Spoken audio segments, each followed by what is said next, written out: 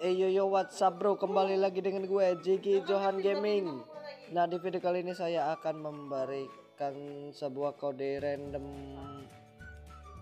Kode random mendapatkan bundle Antonio.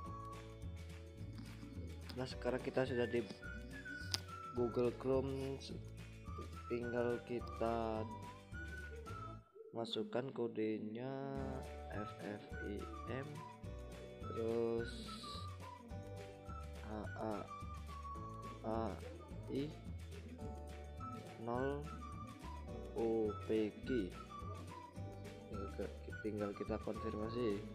Apakah bisa dan apa yang terjadi? Oh terus selamat anda telah mendapatkan hadiah random FFIM hadiah akan dikirimkan dalam 30 menit ke depan langsung ke akun anda.